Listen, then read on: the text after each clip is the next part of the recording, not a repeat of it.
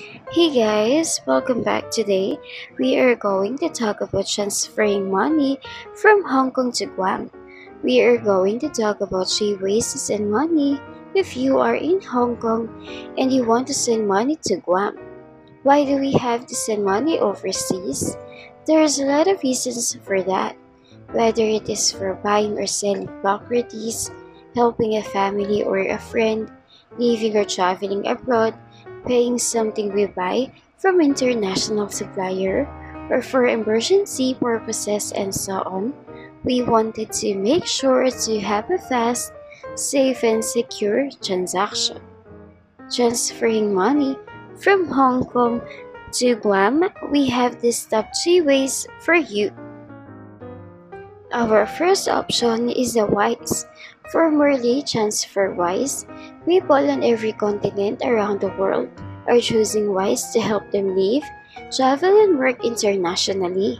They have the fairest and the easiest way to send money overseas. Using Wise is as simple as sending money from A to B. But behind their app and website is a complex engine of currencies that is being designed, built, and powered by their talented teams in cities around the world. And to know more about WISE, just check the video description. The second option is the XE Money Transfer. This is an online money transfer company that offers a cheaper and faster way to send money internationally. As a trusted and seasoned name in foreign exchange, they could be a good option for your international money transfer. Founded in 1993, they have been dealing in foreign exchange for a long time. The fact that they don't charge transfer fees or have a minimum transfer amount make them quite attractive. And to know more about XE Money Transfer, just check the video description. The third option is the Currency Fair.